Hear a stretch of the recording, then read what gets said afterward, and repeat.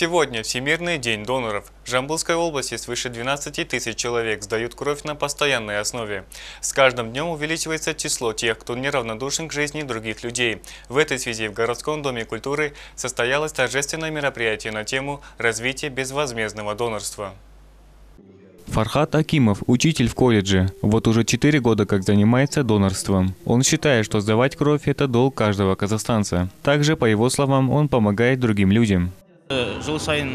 Каждый год сдаю кровь, каждые 2-3 месяца. Нет никакого вреда здоровью, есть только польза, поэтому призываю других людей.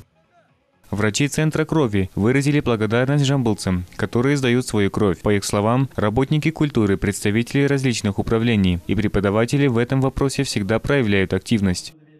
Каждую секунду, каждую минуту э, по всему миру у нас э, очень много людей, которым э, необходимо перелить кровь. Вот э, пришел донор, сдал свою кровь и спас жизнь.